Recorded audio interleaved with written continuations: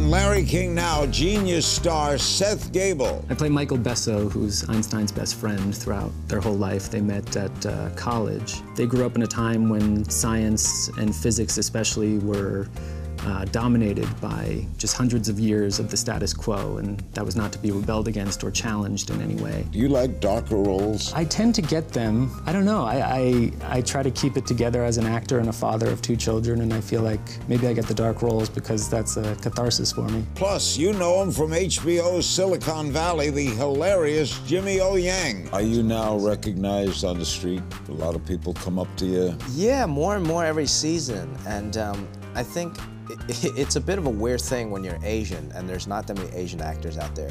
People always like talk amongst their friends and like, oh my God, is that is that the guy? Is that the guy from Silicon Valley? They're both next on Larry King Now.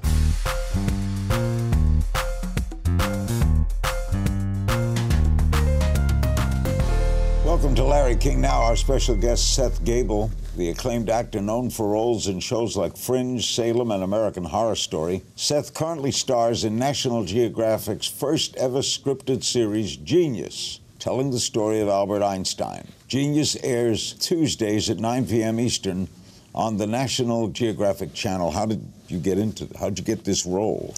Uh, how did I get this role? um, my father-in-law happens to be producing it, but I don't think it's a nepotistic thing. Uh, one of the writers, Ron Howard. Ron Howard, yeah. Um, but there's a writer on the show, Kelly Souders, who was working on the show Salem that I was doing, and she went to that staff and recommended me, and Ron was kind enough not to say no. So I think that's how I got in. And the role you play is? I play Michael Besso, who's Einstein's best friend throughout their whole life. They met at uh, college. And uh, I feel like Besso was one of the first people to really recognize Einstein's genius and really encourage him. Um, they grew up in a time when science and physics especially were uh, dominated by just hundreds of years of the status quo, and that was not to be rebelled against or challenged in any way.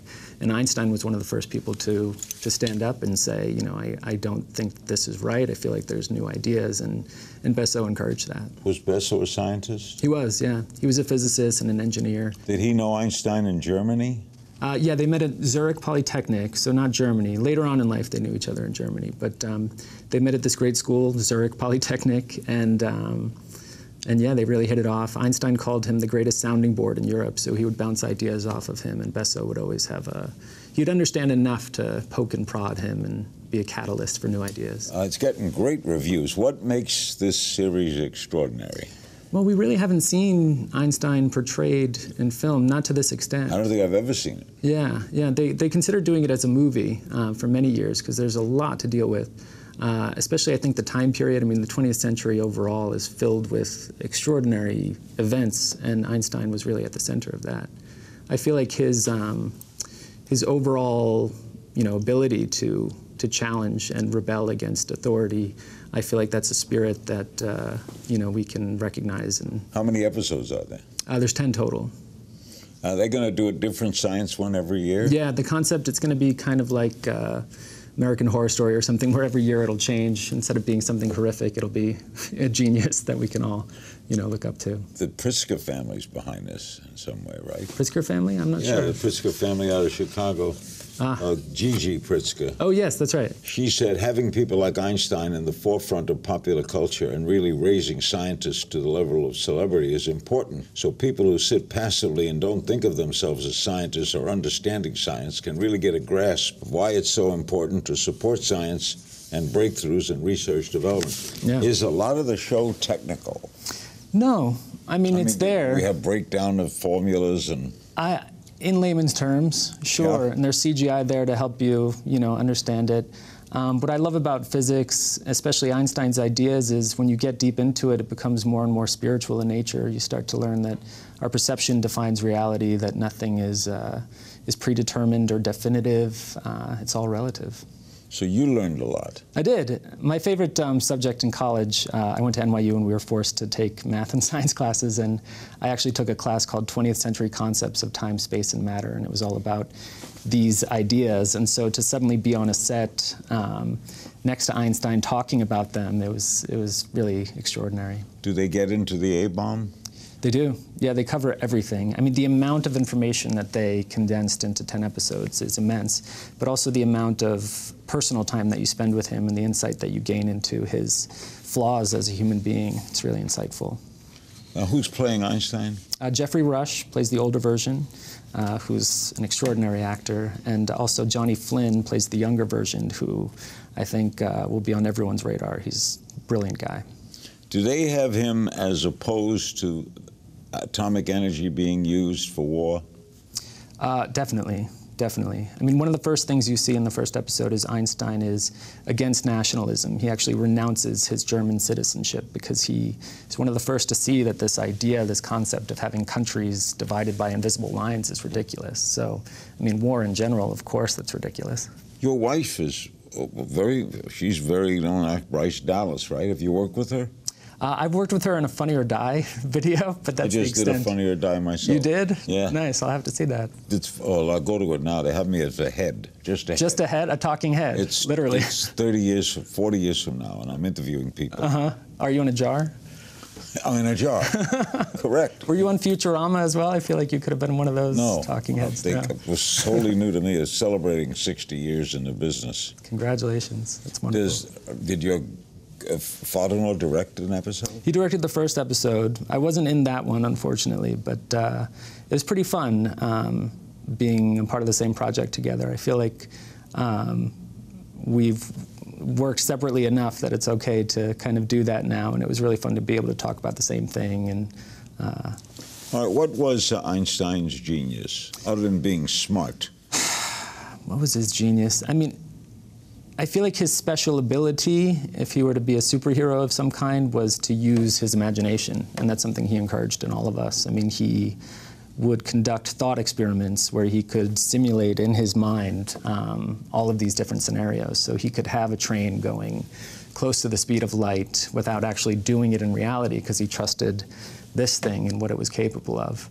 Um, I think what the show also brings to light is that genius is not just one person. Albert Einstein what we see as, you know, his legacy is not just one person. It's a collection of many people, of many moments. Your character is one of them, right? Yeah. Your character is very bright too, isn't he? He is, yeah. He's able to keep up with Einstein, so I assume so. After the break, we'll talk about Seth's roles in hit shows like Fringe and Salem, plus a little game of If You Only Knew. Stay with us. Seth Gabel's our guest, one of the stars of Einstein, airing on National Geographic Tuesday nights at 9. It's National Geographic's first scripted, scripted series. series. Yeah. Now, prior to Genius, you starred in shows like American Horror Story, Salem, Fringe. Is safe to do you like darker roles? Uh, I tend to get them somehow. Salem about the witch trials? Yeah, it is. Um, yeah, my character on that, I play Cotton Mather, who was kind of leading the persecution of the witches and was having all sorts of existential crises. Um, I don't know. I, I, I, try to keep it together as an actor and a father of two children, and I feel like maybe I get the dark roles because that's a catharsis for me. Do you feel like? I think everyone wants to scream from time to time, yeah. especially when you're raising children in the modern world. Uh, the key is to channel it into the right place. The Einstein role isn't dark, though. No, that's a light one. That one for me was just pure fun. Um, I mean, I've loved physics for a long time, and to get to actually be in that world talking to Einstein, uh, nothing compares to that. I once asked Dr. Edward Teller, who invented the hydrogen bomb, uh-huh. why did we fear physics when we went to school? Hmm. And he said, because they teach it. it. Shouldn't be called physics. It should be called life. Yeah physics affected everything you did the moment you opened your eyes? I mean, it caused us to open our eyes. I mean, the fact that you can um, play all of this in reverse in your mind, and it all leads to a single point of singularity. I mean, it's insane. Now, American Horror Story tends to bring back its cast. Are you going back for another one? I hope so. I worked with Ryan Murphy a long time ago on Nip Tuck, and uh, he's one of the best in the business. Okay, what else is on the acting horizon? What's next? I don't know. I'm trying to be. Salem just ended. Genius, I'm obviously proud of, and I'm very glad there's no writer strike happening because uh, I'm on yeah. the market looking for something good. And uh, like your father-in-law, you want to direct? Uh, eventually, yeah. All right, we play a little game, Seth, of, of if you only knew. I just throw okay. a question. Who was your childhood celebrity crush? Kelly Preston from Twins. Secret talent. Secret talent. Um, I have the ability to recognize famous people's voices in commercials within a few words. Really? As long as I know the person in general, uh, within a few syllables, I can I can pinpoint who they are. I miss Gene Hackman for United Airlines. Yeah, beautiful Fry voice. the friendly sky. Timber. Yeah. Best advice you ever received? Uh, really, by example, uh, my father-in-law, Ron, um, just him being a good person. He is a good person. Uh, you know, working hard. Uh, he has no big ego. Yeah, yeah. I very quickly learned there's no point in having an ego in this business. Yeah. Yeah. Uh, worst advice you ever got? Hmm. Worst advice I ever got. I feel like just that that voice, the ego voice inside your head that talks. I feel like that one usually Don't doesn't. go to it. Yeah, don't go to that. Biggest risk you've taken? things. Biggest risk. Um, Sidney Lumet, uh, the director. Um, when I was first starting out in New York, I was supposed to audition for him, and I initially went to a casting director and pre-read, and they said I was good enough to go on to meet Sidney. and then I got a call saying, "Oh, they they've had a scheduling issue. They'd prefer for you not to go in. I think they want to give the role to someone else." And I pretended I didn't get the message, and I went in and met Sidney and ended up getting the role. So that was fun. What movie? Uh, it was actually for a TV show he was doing called 100 Center Street, but I was obviously a huge fan of his Great work. director. Incredible. Uh, guilty pleasure. Guilty pleasure playing video games with my son. TV series you'd like to guest star on. Ooh, uh, Westworld would be fun. Black Mirror, Black Mirror. I'll go with that. Something you're awful at. What am I awful at? Golf. What's a luxury you can't live without? Uh, Zevia. It's a it's a soda that's sweetened with stevia. Stevia, yeah. it's good. I like it too. Who would you trade places with for a day? Uh, probably the president. This president? Yeah, yeah. What other era in history would you like to experience? Uh, I'd prefer to check out the future as long as it's safe. Otherwise, mid 20th century. Is there something you long to believe to be true but realize isn't? Uh, that I long to believe to be true but realize isn't. Um, I long to believe that, that extraterrestrials exist, that there are intelligent ones out there that could perhaps give us a few tips. Is there something people don't know about you? I'm sure there's plenty that people don't know about me. Uh, something in particular, uh, I don't know. Do the physicists think about things like afterlife? Oh, yeah, definitely. Einstein wrote a letter to Besso's uh, wife after Besso passed away, uh, and he said that physicists know that time is merely an illusion, that the past, present, and future are all together all the time, and that um, what we experience is linear time. That's, that's not what is really there. And so that we're all kind of united in so some we go realm. on in some form? We go on. We, you know, what we consider the past is already existing in some other moment, I guess. Whew, Yeah, a little heavy. yeah. Thank you, Seth. Thank you so much. My big thanks to our guest, Seth Gabel. Be sure to tune in to Genius, airing Tuesdays at 9 Eastern on the National Geographic Channel. And when we return, I'll be joined by the hysterical star of Silicon Valley, Jimmy O. Yang. Stay with us. Welcome back to Larry King Now. Joining us now is stand up comedian and actor Jimmy O. Yang. He stars as Jian-Yang on the hit HBO comedy Silicon Valley, currently in its fourth season. Earlier this year, Jimmy made his dramatic film debut alongside Mark Wahlberg and Kevin Bacon in Patriots Day. You have become, Jian-Yang uh-huh. has become the number one fan favorite on Are You Stealing Scenes? I'm trying to. I'm trying to. Uh, I had to do that in the beginning because he started off just two lines in a couple episodes in the first season, and then just a couple more there, a couple more here, and now season four he's really, um, you know, coming to his own. So. Why have they elevated you? Or have you done it yourself? I think it's it's a little bit of both, right? I, I think the the writers are just so great and, and they're so intuitive uh, on the show. So when I first auditioned for the show, this was before it's even called Silicon Valley, before it's even a thing. Jian-Yang was a pretty big character. Never heard back from that audition, right? And then they rewrote the whole script, and Jian-Yang was kind of written out. The characters written out in the process, and then it came back on episode three of season one with just two lines, and that's the part I got. And then more and more, you know, I guess Mike Judge and, and the guys, they're awesome, and, and they see that I can improv with the guys, and people are kind of taking a liking to this guy. So they write me like more and more stuff instead of just kind of like a one-dimensional, you know, Chinese guy. It's become more and more. Uh, And they keep thing. your last name. Well, I don't think that was intentional. I think it was. Uh, Is it wasn't. a common name? I guess yeah, Yang. I think is is probably the third most common Chinese name. My real Chinese name is not Yang. It's O Yang. It's O Young. It's two words. Hmm. like which is a- Irish. yeah, yeah, yeah. which is a much more uncommon name. I guess it was a no-brainer to take the role, right? Oh, absolutely. Uh, I mean, it made you. Yeah, for sure. Um, and like I said, at first when I took it, it was just like a guest star. I didn't think much of it. But then when I saw the cast working with them, I was like, this is probably going to be something special. And I was just happy that they wrote me in more and let me join the team. Now, what's the story with the seafood app?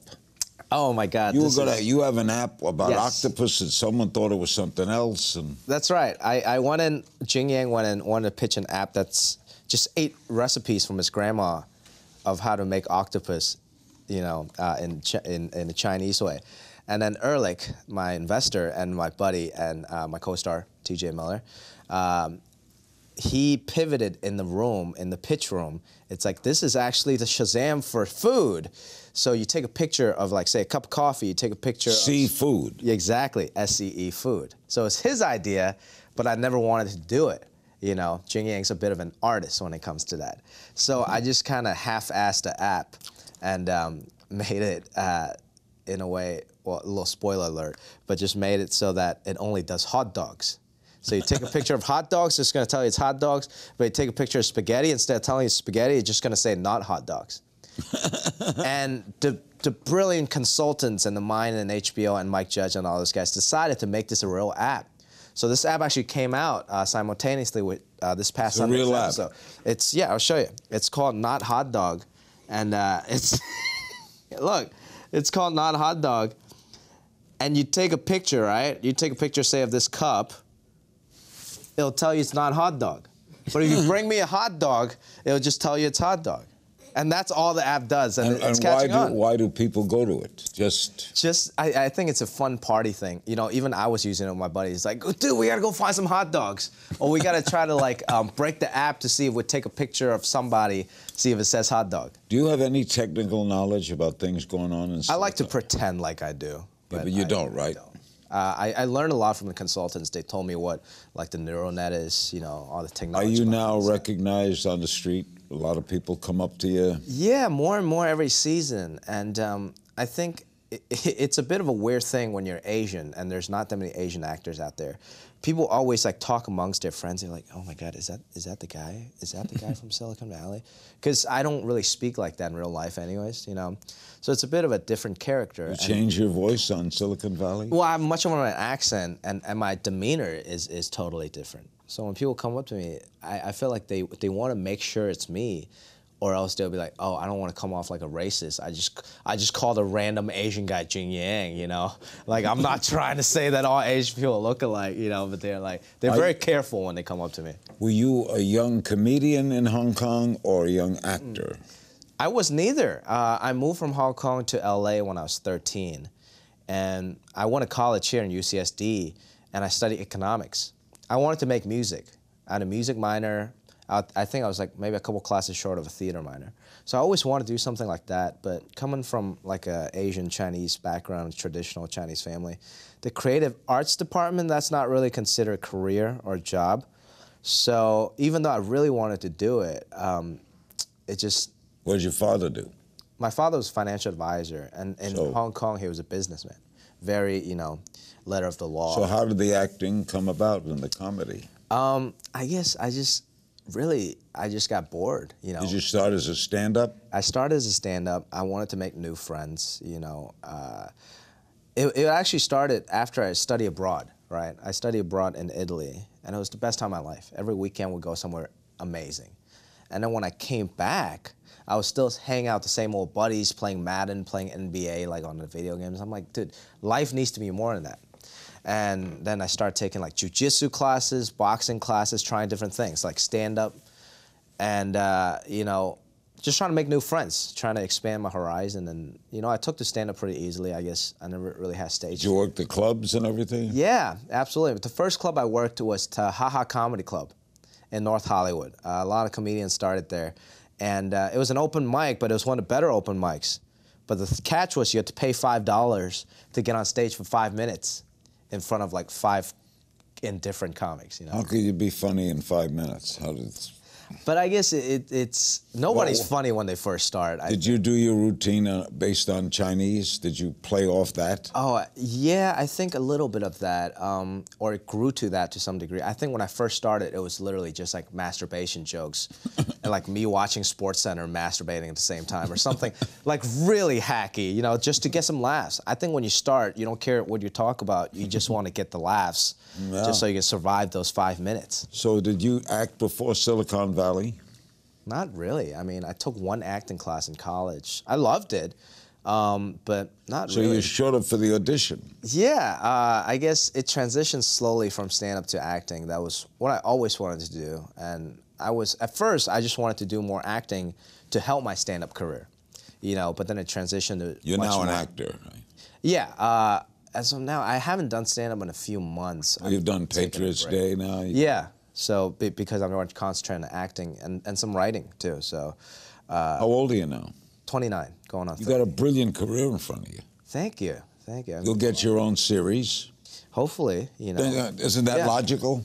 Yeah. Have or, they talked about that already? Yeah, writing my own movies, writing my own series, um, writing a book about myself. Hopefully, that will turn into something else also. Uh, so yeah, just trying to, you know, I think it's a very exciting time right now. It's finally the time where it's it's it's whatever I'm creating, where it's a book, a script, somebody's going to read it. So as long as it's good, as long as I make it, you know, well, then then people are going to respond to it, and uh, it, it's an opportunity that's, that's very exciting. You're a hell of a talent. Oh, thank you. In our final moments, Jimmy O. Yang, I love that. Talk sharing the big screen with Mark Wahlberg. Plus, the Silicon Valley star will take your questions from social media. Stay with us.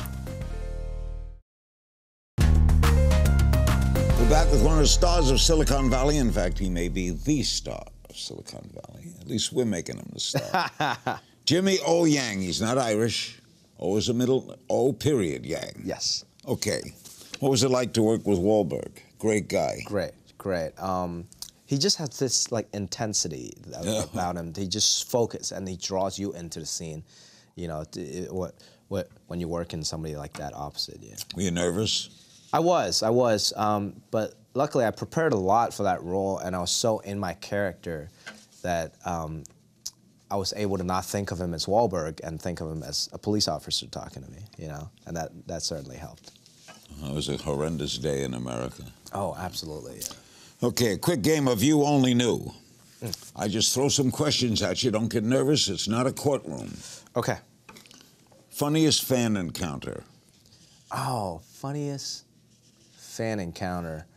Um, hmm. I'm trying to think. I'm trying to think. Trying to think. You don't have to answer it now. Okay. Okay. I'll think about it. Person who makes you laugh the most on the set of Silicon Valley. It's got to be T.J. Miller. He is awesome, and uh, the improv he comes up with definitely makes you alive uh, in, in, in the thing. And he's so open to ideas. Just same, same as Mike Judge and everybody else. He's awesome. Who would you switch places with for a day? Huh. Switch places with. Maybe Larry King. Good idea. Yeah. Wouldn't that be cool? I'm sure you got a great uh, phone contact oh, of everyone. Unbelievable. But don't yeah. be too Jewish. okay. Biggest risk you ever took? Biggest risk I ever took is um, I quit an internship at Smith and Barney, a, a great financial firm, uh, to do stand-up. Whoa. What did your father think about that? He didn't like it. He was the one that hooked me up with the internship. He's still hoping stand up and comedy is just a phase for me. place we'd find you on a day off. Oh, uh, place you find me on a day off. I like shooting hoops in the park or just walking uh, up and down Fairfax. Um, speaking about not being too Jewish, uh, just checking out checking out the sneaker stores and uh, going to Canter's, you know. And uh, there's a nice puppy shop there called um, Barks and Bitches. Uh, you can go pet dogs and you know. Uh, you don't own a dog? I, I do well, kind of. What my do you mean? my mom got this dog that I'm supposed to share with her, but I've been so busy. It's this baby pug. Her name is Toffee. You guys can follow her at Toffee Star Pug on Instagram. She's the cutest thing, but she's got, so crazy and got so much energy, and she pees everywhere. So most of the time she's with my parents. I can't. I just don't have the energy. To Toffee Star Pug. yeah, Okay. Something you're awful at. something I'm awful at. I, I like to think I'm, I'm pretty good Yeah. at most things that I try at. So things that I'm awful at are things that I just don't want to try. Maybe like skiing, extreme sports, motorcycle riding. I, I wouldn't want to do that. Who's your dream co-star? Oh my God, dream co-star. Oh, let me think. Maybe like Daniel Day Lewis or Meryl Streep or something. Just Jimmy O Yang in 10 years. Jimmy O. Yang and Tanya working with Daniel Day Lewis, maybe getting an Oscar. And uh, just really, I'm very happy with what I'm doing right now. I'm trying to live in the moment. Just as long as they let me create more and do what I like to do more, that would be great. Got a couple fan questions. Hmm. Brady Salts on Twitter. Why did it take so long for you to get more screen time on Silicon Valley? I think they got to ease this character in. There's so already so many great characters and so many great actors on the show, uh, you know. And I, I just patiently waited for my time um, and trusted the writers, and and and uh, I'm just glad to be where I am. At DS Squid One on Twitter, what's your off-screen rapport with T.J. Miller like? It's great. We're actually pretty good friends. Uh, I would say he's definitely my best friend on the show. And uh, we both come from a stand up background, so we get along really well. We hang out. I took him to watch Patriots Day. Uh, he's great. He's just such a big personality. I took him to watch Patriots Day in Marina Del Rey. And then people always get a kick out of it to see us two hang out in real life, you know. Um, and uh, after after the movie, he stood up, he screamed in the movie theater like, "This is my friend Jimmy O Yang, and he was the star in Patriots Day, and I just want you guys to know that." And then everybody started like, kind of awkwardly, just like clapping. So he, he and like we love each other. He, he's an awesome. Did that awesome embarrass you? A little bit, but deep down, I kind of liked it. Maybe You got a girlfriend? I do. Yeah. What's her name? Her name is Sam. Uh, Sam. yeah. Yeah, yeah. I actually, Samantha? Samantha, yeah. Um, I actually met her on the set of Silicon Valley. She was a stand-in for Amanda Crew, and uh, we've been going out. Is it serious? Uh, yeah, I would like to think so. Uh, we've been. It's it's new. It's you know for two three months, but um, I, I think we hit it off pretty well. So we'll That's see good. how it progresses. Bobby Nachos on Twitter. What's your favorite octopus recipe? Oh my God. Uh, well, my dad used to do these like stir fry little baby octopus where they, you know, just separate the head and, and, and the and the tentacles, and I use stir fry with some bell peppers, and it's really good. Um, but there's a lot of other stuff like the uh, fried calamaris, as you know, we'll call it in the Western world, but in, in, in the Chinese, it's um, it's like uh, salt and pepper. Deep fried uh, uh, Octopus. octopus. and uh, squid. Tho- Those are all great. Does octopus it taste like chicken? Everything tastes like chicken. It's it's a little more rubbery taste. Oh oh my God! You know what? Growing up, um, I forgot if it was octopus or squid, but my dad used to bring these things from Shanghai. It's a local Shanghai thing. It's uh, squid or octopus testicles. Yeah, very like salty. them? Very Huh? salty. Salty. It's uh, it's not bad. You know, it's like a. Yeah, yeah. It's a- it's a longish sa- shaped egg, and um, it's it's salty. That's all I Called Great. Balls of Fire. Love you, baby. Thank you, Mr. Big Yang. thanks to my guest, Jimmy O. Yang. Be sure to see him in Silicon Valley. Airs Sundays, 10 p.m. on HBO. And as always, you can find me on Twitter at King's Things. I'll see you next time.